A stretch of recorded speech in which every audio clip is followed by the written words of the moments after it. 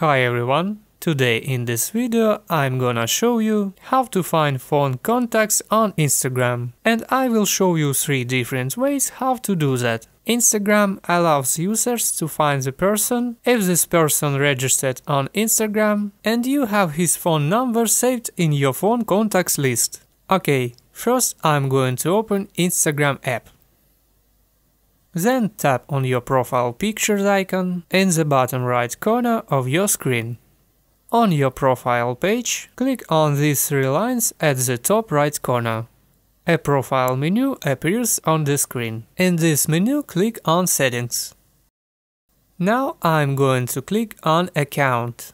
We are on the Account Options page. Find Contact Syncing options and click on it. Toggle Connect Contacts on. A pop-up appears asking you to allow Instagram access to your contacts. Click on Allow. Contacts connected. The second way, go to your Instagram profile page. Next tap the menu button in the top right corner of your screen and select Settings. On the Settings page, tap on Follow and Invite Friends.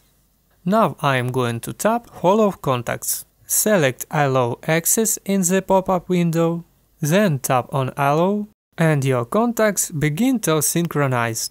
The third way, tap on your profile pictures icon to open the profile page. In the Discover People section, I'm going to tap on See All. Next to Connect Contacts option, you can see the Connect button, so click on it.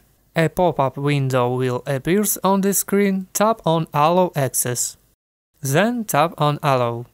Contacts connected. Now if we go back to profile page, in the All Suggestions section you will see Instagram accounts that are associated with phone numbers on your phone contacts list. Click on See All and tap follow next to the names of people you wish to add. This is how you can find phone contacts on Instagram. If this video helped you, please give it thumbs up. If you want to get more helpful videos, subscribe to Mobile Pro channel. If you have any questions, ask me in the comments. Thanks for watching.